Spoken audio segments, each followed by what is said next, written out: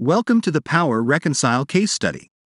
In this video, we'll walk you through the process of reconciling multiple customer transactions. To get started, let's consider a scenario where you have two sheets in your Excel workbook. The orders sheet and the payments sheet.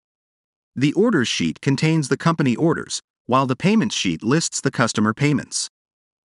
The goal is to match the orders with the corresponding payment.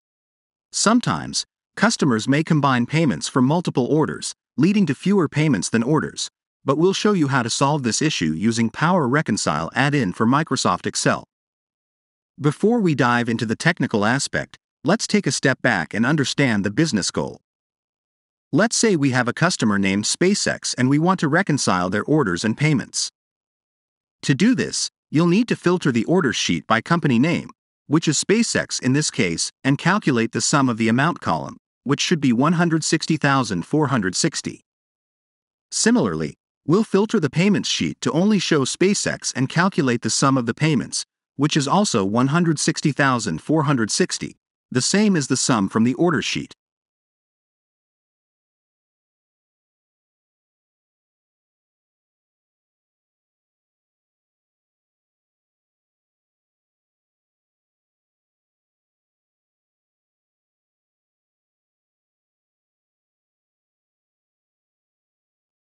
Awesome! That's a perfect match. And just like that, the reconciliation of the first customer's orders and payments is complete. However, repeating this process for each customer can be time consuming, tedious, and error prone, especially if the list of customers is long. Let's see how we can simplify the reconciliation process using the Power Reconcile add in for Microsoft Excel with three easy steps. First of all, Open Power Reconcile add-in by clicking the icon in the Excel ribbon. Step 1.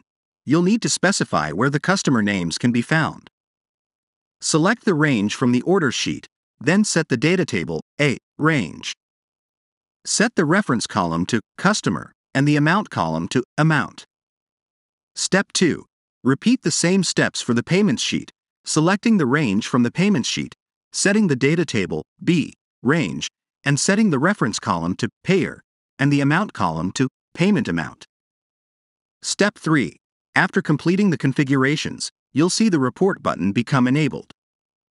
With just one click, you'll generate a report that provides a detailed analysis of the reconciliation.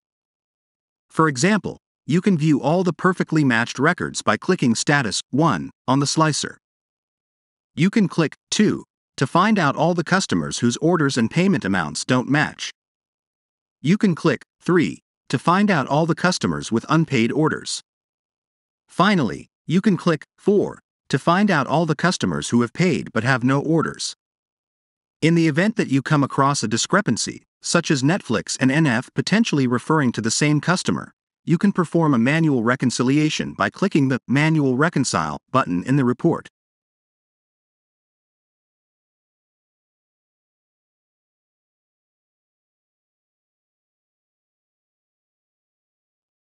For the unmatched records, you can share the report with the accounts payable team to ensure that payments are collected in a timely manner. We hope you enjoyed this case study and found it helpful. Please subscribe and comment if you have any questions. Thank you for watching.